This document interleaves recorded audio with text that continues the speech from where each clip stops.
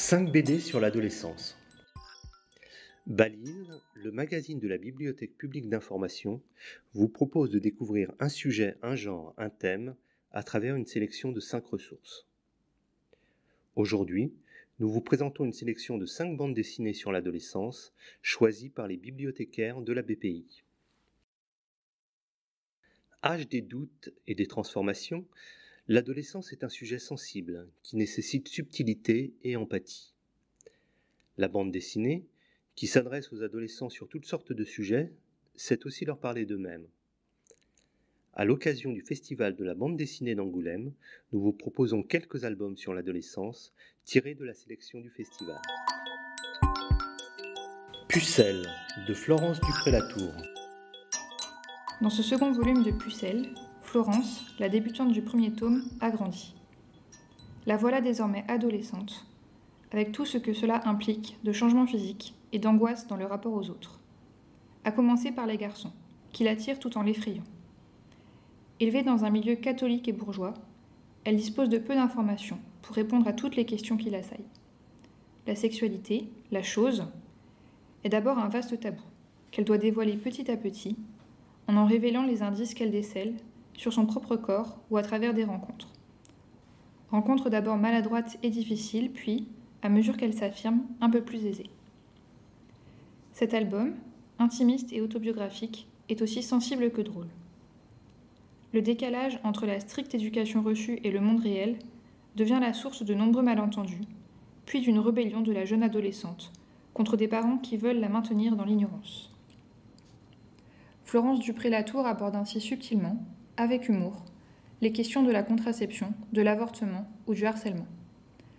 Le dessin, léger et caricatural, rappelle Claire Bretécher ou parfois Marion Montaigne dans ses outrances. Mais il reste adouci par les teintes d'aquarelle rose qu'elle a choisies pour son album.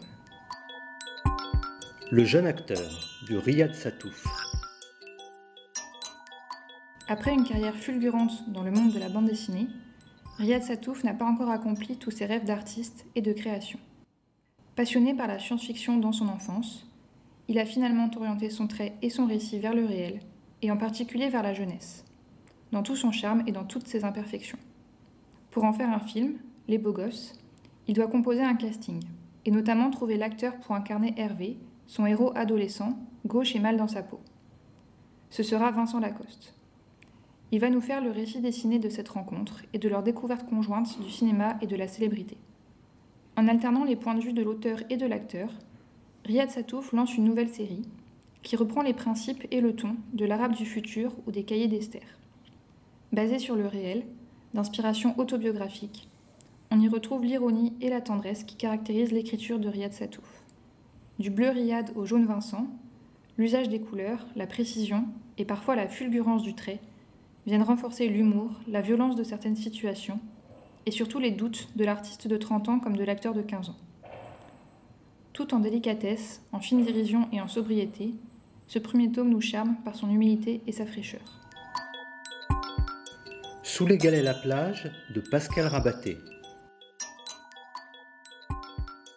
Au début des années 60, trois jeunes hommes traînent leur long corps d'adolescents sur une plage déserte de station balnéaire. Le bac et les clés de la villa familiale en poche, Albert, Francis et Édouard profitent de leurs derniers jours de liberté, avant d'intégrer une école de commerce, une fac de droit ou une formation militaire.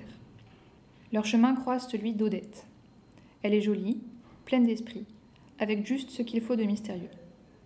Elle aime la bière, les baignades au clair de lune et les cambriolages de résidences secondaires. Entre Odette et Albert fleurit une attirance mutuelle, qui pousse ce fils de bonne famille à rejoindre une petite bande vivant du vol et du recel de meubles en chêne du XVIIIe siècle et de services à café de style empire. Sur cet été qui semblait être celui de tous les possibles, s'abat cependant le poids des conventions sociales et des destins tracés dès la naissance. Pascal Rabaté dépeint d'un trait vif et léger l'emprise de cette morale bourgeoise sur les esprits et les corps, capturant avec précision les expressions et les postures de ses personnages. Sa palette, pleine de noirs, blancs et gris colorés, ancre les images dans une période historique, dont on ressent la pesanteur au détour d'une phrase ou d'une case.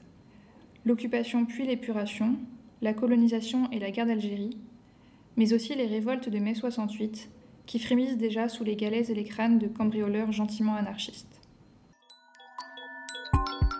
Mauvaise herbe de Keigo Shinzo. En perquisitionnant dans une maison close faisant travailler des jeunes filles mineures, le lieutenant Yamada fait la rencontre de Shiori, une jeune lycéenne fugueuse. Shiori fuit une mère toxique et violente.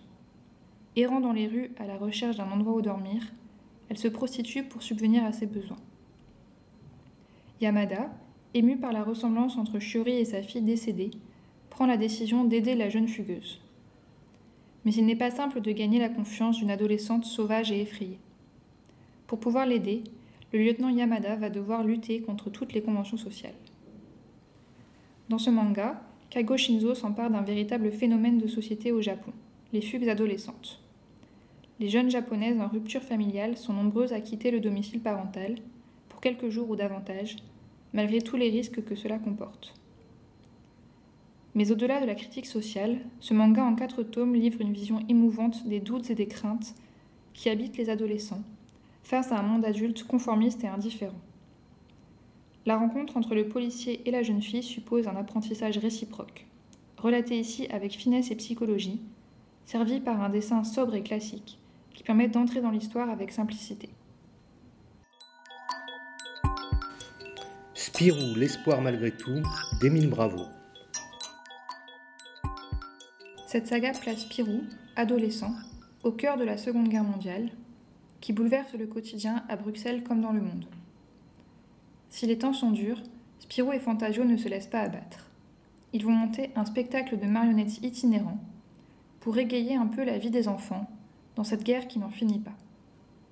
Cela les amène à rencontrer de nombreux personnages, collabos ou résistants, qui semblent trouver un étrange intérêt à leur spectacle.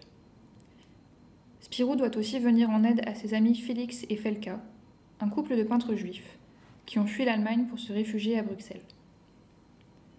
Pour secourir tous ses amis en difficulté, il parcourt à vélo, avec Fantasio, les campagnes belges à la recherche de nourriture, naviguant au milieu des barrages allemands.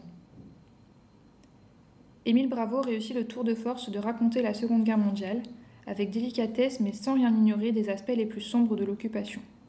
La déportation, l'antisémitisme, le sacrifice de certains résistants. Si Spirou, entre enfance et âge adulte, ne comprend pas tout au monde qui l'entoure, ses principes de générosité et de courage ont pourtant raison de sa naïveté. Le graphisme rétro d'Émile Bravo permet de retranscrire parfaitement l'époque de la guerre. Les pages sont denses et riches en détails. Malgré la simplicité propre à un récit qui peut se lire à tout âge, Émile Bravo évite le manichéisme ou le pathos facile. Il livre une image juste de cette période sombre, qu'il parvient pourtant à raconter avec ce qu'il faut de légèreté.